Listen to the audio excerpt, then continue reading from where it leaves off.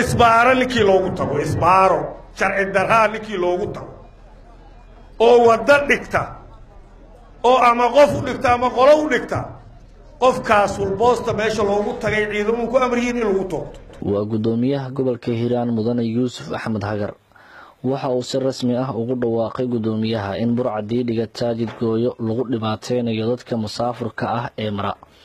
Gobolka hiiraan ciidanka amnigana ay gacanta ku soo dhigaan xukun dil ah isla goobta lagula fulin doono.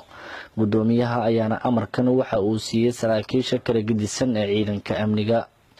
Guddoomiyaha ayaa sheegay in tallaabadan looga gol leeyahay in isbaarooyinka bulshada lagu dhibaateeyo. Guud ahaan meesha laga saaro waxaana xusid mudan in guddoomiyaha warkan uu ka sheegay. Munaasabad shalay ka dhacday beledweynta oo ciidankii hore ee westland state ay ugu biirayeen ciidanka xooga dalka waxa hooyo kastooo wiil dhashay aan u sheegaa. Oo oday kastooo wiil dhalay aan u sheegaa. Oo islaan kastooo niqaba aan u sheegaa. Dadka kaloo dhan waa la soo xiraa maxkamadaana la geynaa kadib. Maxkamadaas waxuu kale u leeyahay. Isbaaro ninkii loogu tago isbaaro sharci daraa ninkii loogu tago. Oo waddo dhigta oo ama qof u dhigta ama qolo u dhigta qofkaas walboosta meesha loogu tagay ciidamuu ku amriyiin in lagu toogto ilaahu markhaati kaa wiran u sheeg konton qofood hadday isbaaro ku dilaan ciidamada xoogga dalku aadimay dinaanadii soo aadaysa taliyaasha la weydii maaha amarkaas waa qabaan warqadan anigu saxiixay aad jeebka ugu jirto anaa ka jawaaba isbaara waa mamnuuc isbaara waa mamnuuc isbaara waa mamnuuc ilaahu markhaati kaa inanu sheegay reer hebel aan nahay eyaa lagu aada iyo annaga reer hebel aan nahay meeshaan xaan kulaynahay iyo.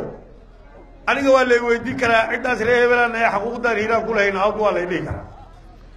Laakiin qofkii hebel hay madaxtinimadiisa awda layma dhihi karo. Qofka qofka hebel haddou kaalintiisa buuxi waama meesha iska jooga jilli walaaxuulana ou yahay guddoomiye yuusuf axmed hagar ayaa dhanka kale soo hadal qaaday muhiimadda ay leedahay in dadka reer hiiraan ay ka gudbaan caqabada ka dhalata had iyo jeer qabyaaladda iyo weliba kala qobqobnaanta waxa uuna sheegay in muhiimay tahay in la midoobo. Waxaan rabaa dadka i dhegaysanaya dadka midiyaha iga dhegaysan doona iyo dadka hadda i fiirsanaaba inaan mid u sheego.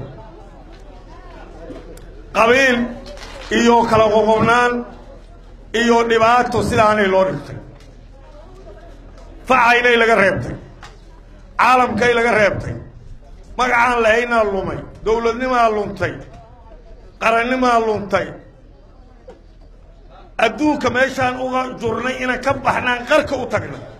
Hadalkan ka soo yeeray guddoomiyaha cusub ee gobolka hiiraan yuusuf axmed hagar ee ku aadan in maamulkiisa cusub uu la dagaalamayo burcadda jidgooyooyinka u dhigata dadka musaafurka ah. Gaadiidka ay la socdaan ayaa ku soo beegmaya xilli jidgooyooyinka muddooyinkii ugu dambeeyay ay ku soo badanayeen qaybo ka mid ee gobolka hiiraan gaar ahaan dowladada beledweyn qaybo ka mid